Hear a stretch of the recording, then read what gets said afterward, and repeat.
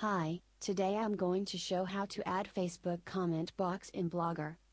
Step 1. Log in your Facebook account and go to developers.facebook.com web link. Fill the box with info that needs. For URL to comment on box past your Blogger URL.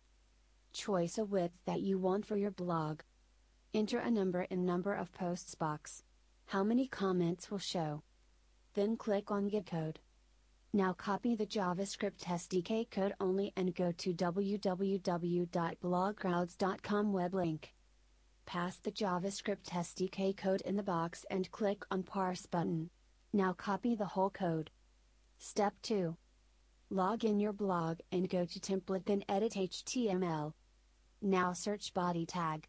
For easily search click on HTML code box and press Ctrl plus F and enter body tag into the search box and click on enter button in your computer keyboard.